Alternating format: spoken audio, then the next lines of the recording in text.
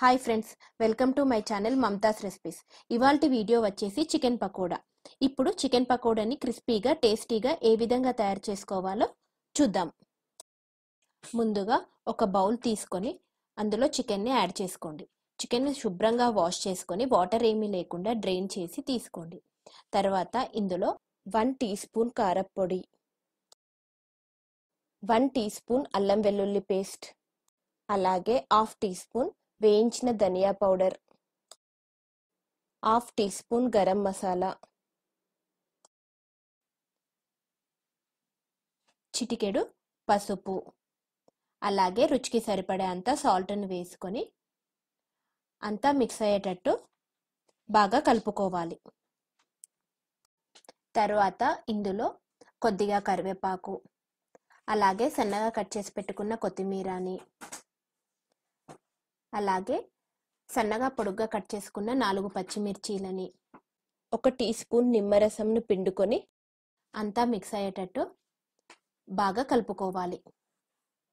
ఈ విధంగా కలుపుకున్న తర్వాత ఇందులో వన్ టేబుల్ స్పూన్ కార్న్ఫ్లోర్ అలాగే వన్ టేబుల్ స్పూన్ శనగపిండిని అలాగే వన్ టేబుల్ స్పూన్ బియ్యం పిండిని యాడ్ చేసుకొని ముక్కలకు అంతా పట్టేటట్టు బాగా మిక్స్ చేసుకోవాలి.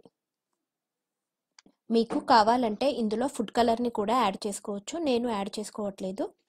ఈ విధంగా కలుపుకొని ఒక గంట పాటు నాననివ్వాలి. ఒక గంట తర్వాత డీప్ ఫ్రైకి సరిపడా ఆయిల్ పెట్టుకొని ఆయిల్ హీట్ అయ్యాక మనం మ్యారినేట్ చేసి పెట్టుకున్న చికెన్ పీసెస్ని కొద్ది కొద్దిగా యాడ్ చేసుకోండి.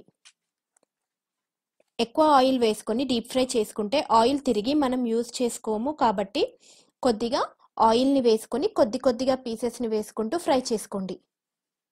తర్వాత గరిటెతో రెండు వైపులా తిప్పుకుంటూ ఈవెన్గా ఫ్రై చేసుకోండి.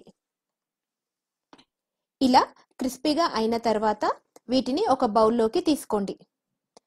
అదేవిధంగా మిగిలిన చికెన్ పీసెస్ని కూడా డీప్ ఫ్రై చేసుకోండి. అంతే సింపుల్గా చికెన్ పకోడీని ఇంట్లోనే తయారు చేసుకోవచ్చు. మీరు కూడా ఈ రెసిపీని ట్రై చేసి మీకు ఎలా వచ్చిందో కామెంట్ చేయండి.